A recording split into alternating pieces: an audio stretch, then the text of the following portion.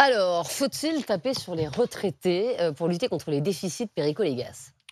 J'ai un respect infini pour les seniors et ces générations passées qui ont permis à la France d'être ce qu'elle est. Ils se sont goinfrés, à juste titre, parce que la situation était opulente. Et ils ont profité d'un système, le baby-boom, enfin voilà. Donc, euh, Ils ont la guerre aussi. C'est souvent des 68 heures. Non, voilà, non, c'est la génération après, d'après. Après la guerre. Oui, après la guerre. Enfin, ils se sont, j'utilise ce terme, ils se sont goinfrés, voilà. Maintenant, on est un petit peu en difficulté, il faut serrer un petit peu les cordons de la bourse. Euh, évidemment qu'il faut les, il faut les. Alors, je vais utiliser une expression violente que j'aime beaucoup parce que j'adore. Il faut les traire comme des vaches à lait. Ah oui, carrément. Ah, il faut les traire comme des vaches à lait. Oh. Alors, on va, faire, on va faire, non, on va faire très attention. Euh, Rémi a bien dit, 8% de taux de pauvreté. Donc, Ouais. ça veut dire qu'il y a des pauvres. Oui. Ces gens-là, on ne les touche pas. Éventuellement, on améliore un peu leur retraite, voilà.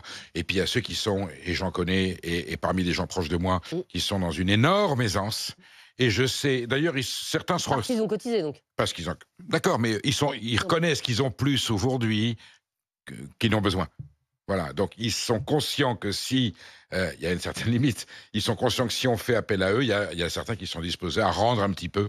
Voilà, ils savent très bien que Non, mais l'idée, c'est pas de rendre, c'est de moins donner. C'est-à-dire que c'est pas tout à fait pareil. C'est-à-dire qu'en fait, si tu désindexes, par exemple, tu n'enlèves pas, tu n'enlèves rien. C'est Un retraité, je dis n'importe quoi, mais qui, qui image. touche, qui touche 1600 euros, il continuera de toucher 1600 C'est- euros. Tu lui enlèves pas en lui disant, bah non, Non, euh, finalement, il va te rester C'est 1003. c'est une image. On a touché beaucoup, on a beaucoup profité, on a un patrimoine, on Mm. Mais sont riche. imposés, hein, les retraités aisés. Bien sûr, voilà, en plus, mais voilà, ils disent, voilà, on a bénéficié d'une situation, bon, on renvoie, la- en fait, quand je dis rente, on renvoie l'ascenseur à la société qui en a besoin. Mm. Voilà, c'est la moindre des choses, mais il faudra que le gouvernement sera, soit intraitable là-dessus. Ça a été tout le sujet du débat des retraites, voilà, c'est intraitable, ce sont des nantis, ce sont des privilégiés. Alors, non, ce que je leur reproche, c'est que quand il s'agit de faire des réformes des retraites, Oui. et si ça menaçait, là, ils étaient contre la réforme des retraites. Pour les autres, oui, il n'y a pas de problème. Mais les concernant, non. Alors maintenant, ils bah vont cracher au bassinet, ils vont cracher au bassinet comme les autres.